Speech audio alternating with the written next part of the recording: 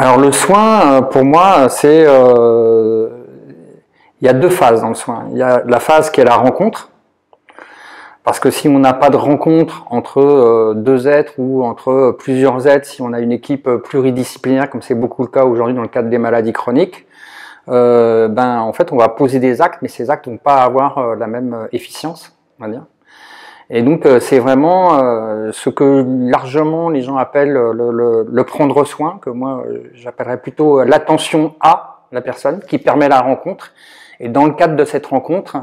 va euh, avoir lieu un acte qui va pouvoir avoir une interaction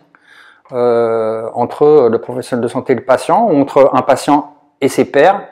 ou euh, en fait entre une personne qui fait de l'auto-soin. Et en fait, dans tous les cas, il faut que la personne elle soit connectée à elle-même pour pouvoir faire un soin efficient.